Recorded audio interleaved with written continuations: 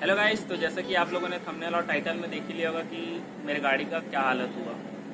उसमें कितना पैसा लगा, कितना टाइम लगा, और भी क्या क्या चीज़ लगे, ये मैं सब चीज़ आपको पूरे डिटेल में बताऊँगा। तो आगे वीडियो में बने रहें पूरी जानकारी के लिए।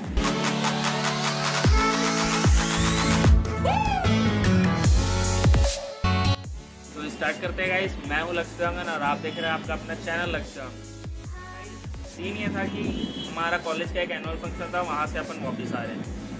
लगभग रात के 11 बजे हुए थे, हम लोग वापस आ रहे थे। मेरा भाई बोला, मुझे गाड़ी चलानी थी मैंने उसने, मैंने उसे गाड़ी चलाने दिया ट्रॉफिक भी उतना नहीं था, पूरा सुनसान इलाका था।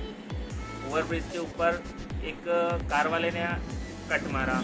ऐसे ही साइड लिए हम लोग अचानक से डिवाइडर आ गया। मतलब वो ओवरब्रिज के ऊपर वो छोटा सा डिवाइडर रहता है, वो मतलब अपने लाइट से दिखा नहीं। अचानक से ही उसी में जाके हम लोग घुस गए। गाड़ी जैसे ही पड़ी स्टैंड हो गई, हम लोग गाड़ी के ऊपर से गिरे। मैं तो बहुत दूर गिरा, वो तो थोड़ा पास में ही गिरा। अगर थोड़ा सा भी इधर उधर होता तो मैं ओवरब्रिज के उस पार गिर जाता, शायद मेरी मौत भी हो सकती थी या और भी कुछ हो सकता था, पैर वैर टूट सकता था, सर फट सकता था। लेकिन ऐसा उस टाइम कुछ नहीं हुआ, भगवान की दया से। मैं उठा, उसका उसका फ़ोन मैं चला रहा था। वो फ़ोन ओवर ब्रिज के नीचे गिर गया था। पहले फ़ोन खोजे मिला नहीं। तो फिर मेरे फ़ोन से अपने दोस्त लोग को कॉल लगाया वो लोग आए। भाई, पंद्रह बीस मिनट बाद वो लोग भी गए थे तो वो लोग दूसरे रास्ते चले गए थे, वहाँ से वो लोग वापिस आए। हम लोग लगभग सिक्सटी टू सेवेंटी के स्पीड में होंगे, और गाड़ी ऐसी ठुकी और स्टैंड हो गई। तो ऐसा सिर्फ़ उसका वो लेग गार्ड और क्या बोलना चाहिए उसको बैंड पाइप वो दोनों बस ठुकी। तो और इंजन उसके चैन उतर गया था तो अपन गाड़ी नहीं चला पा रहे। तो उसको हम लोगों ने टोशन मारते हुए घर लेके गए। हमें लगा ज़्यादा चोट नहीं है, थोड़ी बहुत बन जाएगी ऐसा करके। तो घर में बताएँ तो थोड़ा ठीक है। उसके बाद नेक्स्ट डे अपन दोस्त को बुलाएँ और उसको शोरूम छोड़ने गाड़ी को टोशन मारते हुए।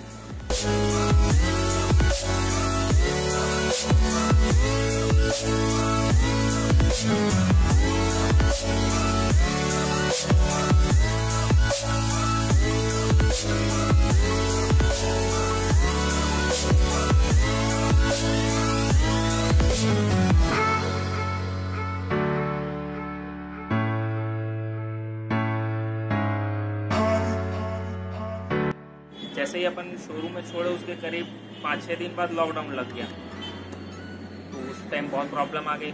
करीब शोरूम में मेरी गाड़ी चार महीने, साढ़े तीन से चार महीने तक थी। मैंने दो तीन बार वहाँ विज़िट भी किया कि गाड़ी बनाए कि नहीं, उसका भी वीडियो मैं डाल देता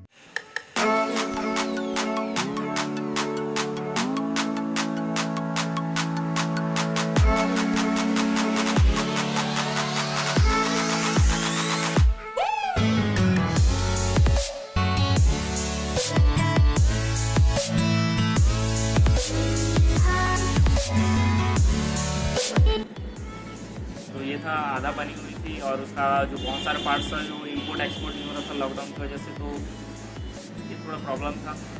तो अभी जस्ट मेरे को मेरी गाड़ी लेने गए थे अपन तो उसमें भी थोड़ा इंश्योरेंस का इशू आता है।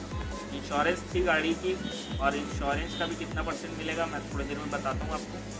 तो सीन ऐसा था कि जो मैं गाड़ी का एस्टिमेट मिला था वो था सेवेंटी फाइव थाउज़ेंड जब गाड़ी बन रही थी तो मैंने कहा कि मेरा टंकी सही है, मैं टंकी वही लगा दूँ। तो उसके बाद हमारा एस्टिमेट आया सिक्सटी फोर के आसपास, लगभग दस हज़ार के आसपास की थी टंकी उतना ध्यान नहीं दिया मैं। तो मैं दिखाता हूँ आपको कि क्या क्या चेंज हुआ मेरे गाड़ी में, फिर उसके बाद मैंने कितना प्राइस दिया और इंश्योरेंस वाले ने कितना प्राइस बताया, वो दिखाता हूँ। ये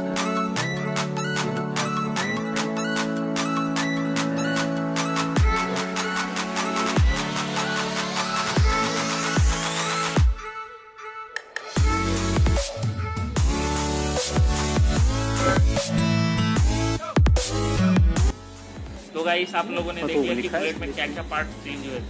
ये तो था सिर्फ़ जो मेन मेन था। और इसके अलावा भी मेरे पास एस्टिमेट पूरा है उसमें करीब 40 से 45 चीज़ें चेंज हुए। छोटी छोटी चीज़ों को भी उसमें एस्टिमेट में दिया गया है बिल में। तो इंश्योरेंस का मेन मसला था। तो मेरे को इंश्योरेंस की तरफ़ से मिला था forty thousand only forty thousand क्योंकि sixty two seventy percent normal में मिलता है और मेरे केस में मैं एड ऑन करवाया था, फिर भी पता नहीं वो इंश्योरेंस की तरफ़ से कोई इशू इंश्योरेंस की तरफ़ से कोई इशू था, इसलिए मुझे और बाकी नहीं मिल पाया। पता नहीं क्या हुआ एग्जैक्ट कि अभी भी चल रही है थोड़ी बहुत। तो लगभग मैंने ट्वेंटी फोर थाउज़ेंड पे करके अपनी गाड़ी लाई।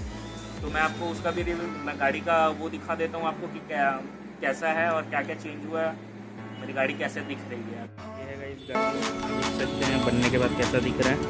इसमें देख सकते हैं, ये मड गार्ड चेंज हुआ है इसका अपने को पार्ट्स नहीं मिला। Leg guard band pipe silencer handle भी चेंज हुआ है, उसका भी नहीं मिला। ये पीछे का पूरा लाइट सेट चेंज हुआ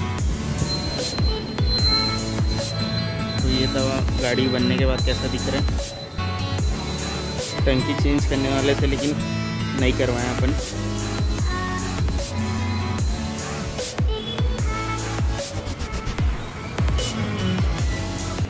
अगर आप चाहते हैं कि इस तरह के वीडियो में और बनाऊँ तो फॉलो करो लाइक करो और कमेंट करके ज़रूर बताना। और गाइस एक्सीडेंट से बचना ज़रूरी है। हेलमेट लगाना हेलमेट में लगाया था, ये मेरा प्रिकॉशन था कि हमें कुछ नहीं हुआ। और आप देख के संभल के चलिए। क्योंकि कभी भी कुछ भी घटना हो सकती है। तो मिलते हैं नेक्स्ट वीडियो में। Thank you